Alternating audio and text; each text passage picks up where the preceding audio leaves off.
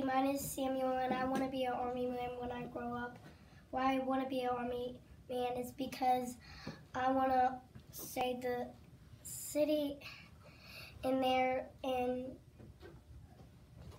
why I do want to um, do it because I want to save other people so they won't get killed.